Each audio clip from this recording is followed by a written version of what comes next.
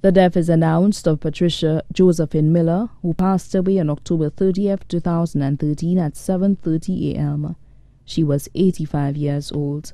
Left to mourn her husband, Ronald Speedy Miller, her children, Roger Miller, Fee Miller, Marva Eugene, and Glenn Miller, her siblings, Simone James and Lincoln LaForce in New York, her only grandchild, Joel Louis Fernand, her brother-in-law, Woody Miller, in Jamaica, sisters-in-law, Marcella Drysdale, Dottie McLeod, and Doris Miller in Jamaica, cousins, Juliana Itiaba, Carol Mondesi, Oliver Mondesi, Harry Mondesi, George Dujon, Lawrence Gilks, Pamela Drysdale, Clement Bob, Justin Bob, and Angel Montrose and their offspring, her nephews and nieces, Ergram Williams, Kivan Williams, Butling Williams, Leland Williams, Julian de Turville, Dawn Ambrosen,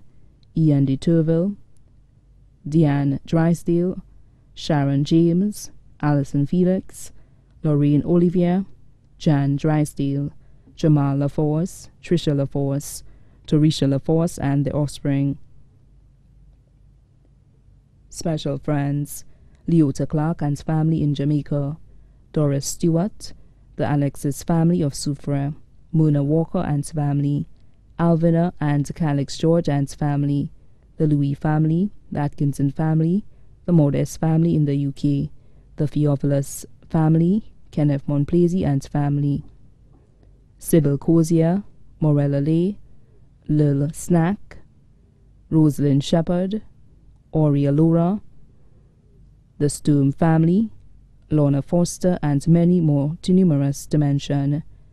The family would like to thank her caregivers, Merlin Mason and Michaelina Flavier, and to express our sincerest gratitude to her doctor, Deborah Louisi, to whom we owe an everlasting debt.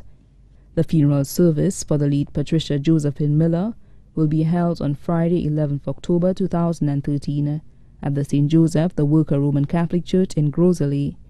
The body will then be interred at the Gros Islet Cemetery. The body now lies at the Ramballis Funeral Parlor, Calvary Road, Castries.